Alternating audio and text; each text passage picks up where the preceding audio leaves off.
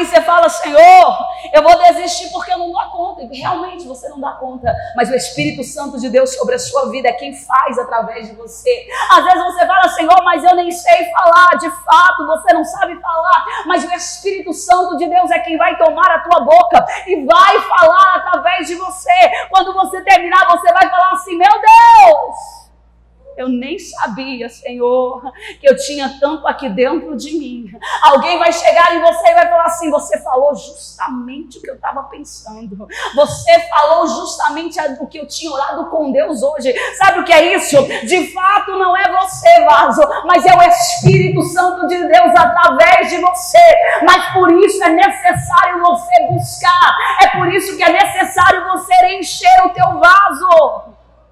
Porque vazio não dá para chegar em lugar nenhum. Vazio não tem como ser útil, mas cheio na presença de Deus. Milhares de vidas são salvas. Um coxo vai andar, vai decanta. Pedro foi preso. Pedro foi questionado. Porque alguém está dizendo com que autoridade você fez milagre. Pedro disse: Você lembra daquele que vocês crucificaram. Pedro impressiona aqueles que estão questionando eles. Eles estão dizendo: o que é isso? A gente que tem estudo. E esse que é analfabeto, agora está falando cheio de autoridade, agora está falando cheio de unção. Ora, eles vendo a ousadia de Pedro e João, percebendo que eles eram homens iletrados e ignorantes, se maravilharam e tinham conhecimento de que eles haviam estado com Jesus. Alguém olhou para Pedro e disse: Ué, tem nem estudo, sabe, sabe nem falar. E olha só a autoridade que ele me respondeu.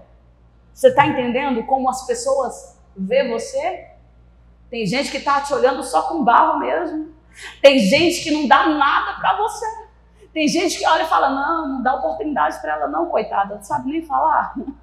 Quem é? Você chega num lugar pomposo, fala, oh, fulana de tal ali é usada, alguém te apresenta, alguém olha tuas vestes, alguém olha a tua aparência e está dizendo, você tem certeza que ela sabe cantar? Você tem certeza que sabe falar? Aqui tem alguém que não está dando nada por você. Só que o que Deus faz é isso. Rabai decanta não é um vaso de aparência, mas é um vaso que está cheio, transbordando. Está começando a entender a isso. Porque é que Deus te chamou. Porque é o que você tem para dar. A presença de Deus sobre a sua vida vai ser surpresa. Aonde Nebiai decanta, o homem tem fechado as portas para o poder de Deus. O que Nebiai, o Senhor, tem derramado sobre a sua vida vai ser surpresa dentro de uma casa de pessoas que não querem mais Jesus. Porque porque Deus vai engrandecer o nome dele através de você. Alguém vai olhar e vai dizer verdadeiramente: é Deus a sua vida, verdadeiramente é Deus que te usa. Vale pagar um preço. Vale a pena descer, vale a pena renunciar, vale a pena buscar, porque quem honra é Ele, quem cuida é Ele, quem revela a presença dEle na sua vida é Ele, é Ele que faz. Pedro, depois que foi cheio do Espírito Santo, começa a mudar a história dele, o nome dele.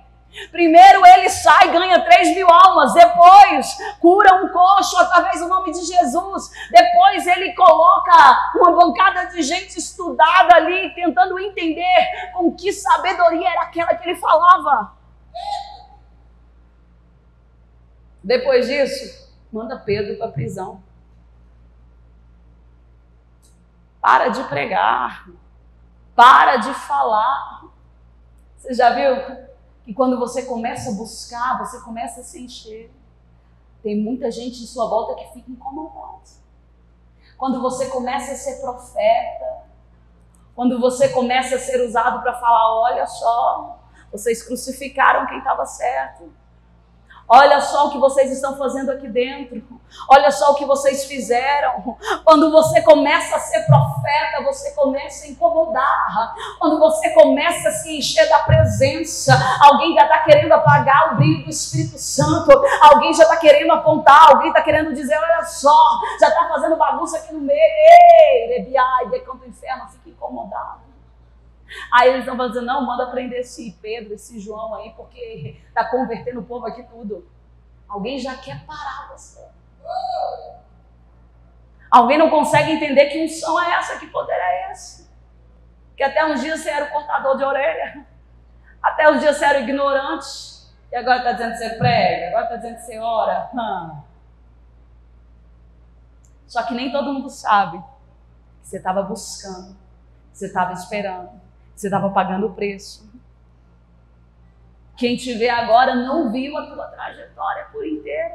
Por quê? Porque esses momentos, eles geralmente acontecem no secreto.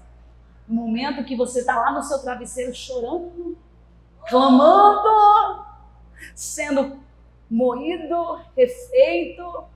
E é essa hora de quebrantamento de coração é a hora que Deus começa a trabalhar na nossa vida e nem todo mundo vê.